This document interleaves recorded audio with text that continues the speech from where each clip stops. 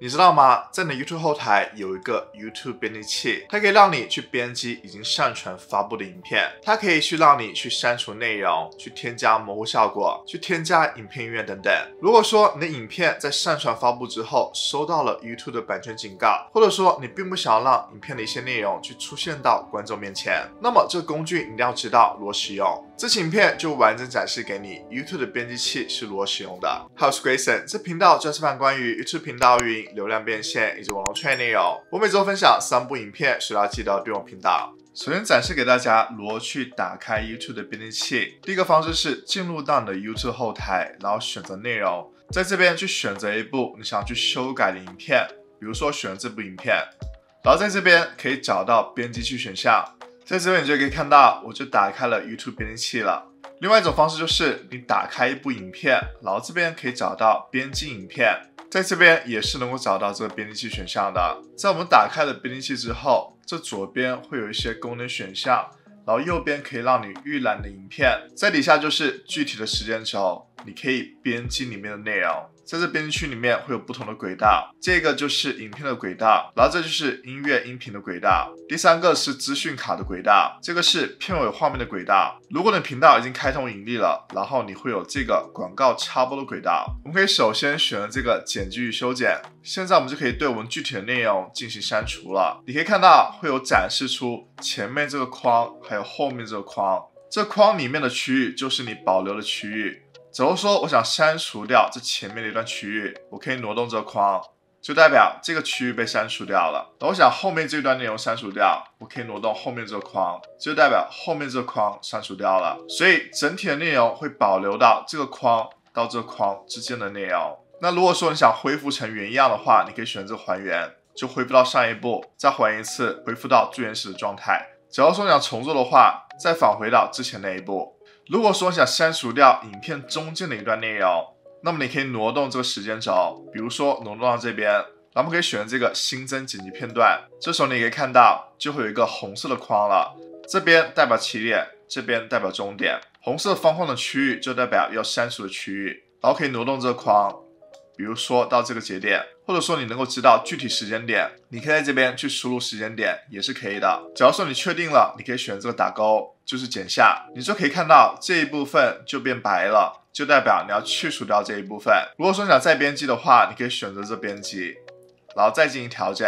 你也可以通过这时间轴来具体控制一下要到哪个时间点。当你在这边预览好之后，你可以把这时间轴放到这边，再移动这框也是可以的。然后选择这个剪下，你就可以选择要剪下这片段了。假如说想删除的片段，你可以选择删除。它会让你确认是否要删除这片段，现在恢复到之前那个样子了。然后你可以选择还原，就恢复到你要去剪除掉这个片段了。那你是可以增加多个剪除片段的。比如说在这边，我还想去剪除一个片段，我可以在这边去新增一个剪接片段，然后选择一个区域，然后选择剪下，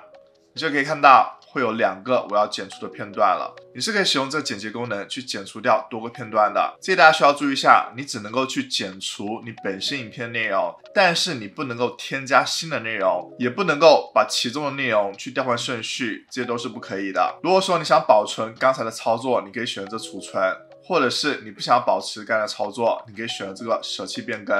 你可以看到这边有个三个点标志。这里有个还原至原始影片，这就代表着，如果你选择了保存刚才的设置，但是你最终不想要去做出那个改变，你就可以选择这个还原至原始影片，就可以恢复到你本身最原始的影片了。然后底下有个选项就是键盘快捷键，这边会有很多的快捷键供你参考，去让你更快速的去使用 YouTube 的编辑器。底下的功能就是模糊处理。它会有脸部模糊处理，还有自定模糊处理。比如说，可以选择自定模糊处理，就可以看到它会有一个模糊的边框。我可以挪动它，然后调整它大小。这边你可以选择模糊滤镜的形状，默认是矩形，然后你可以选择把它变成椭圆形。然后你可以选择模糊处理方式，是追踪物品，还是说你固定在一个模糊处理的位置？这边你可以看到有个黑色的区域。就代表这个模糊处理它的时长，你可以调节它时长，比如说把它延长到这边也是可以的，或者是你有精确的时间点，可以在这边输入。我想删除掉这模糊处理选项，你可以选这个删除元素就没有了，或者说你可以选这个脸部模糊处理，那这边 YouTube 的 AI 就会侦测它的脸孔，它会显示在处理你的影片，它是需要更多时间的。所以这期间你可以使用 YouTube 的其他功能，然后它会在背景中去执行处理作业。这边有个放大镜，然后缩小镜的功能，它就能够让你去放大时间线里面具体的细节。在你进行操作的时候，有时候你需要更详细的细节才能够操作，所以你可以使用这个功能。下一个就是音讯选项，在这边你可以添加 YouTube 音乐库里面的音乐，在这边你可以播放音乐，然后有一个搜索还有筛选选项，你可以选择搜寻，或者是你可以筛选音乐的类型，这里面会有不同的类型你可以选择。然后在这边你需要注意一下。它会有一个授权证书，它会告诉你这首音乐是适合你所有的影片的，包括盈利影片，并且你是不需要注明出处的。假如说想选择这首音乐，我可以选新增，就可以看到我就新增了这段音乐了。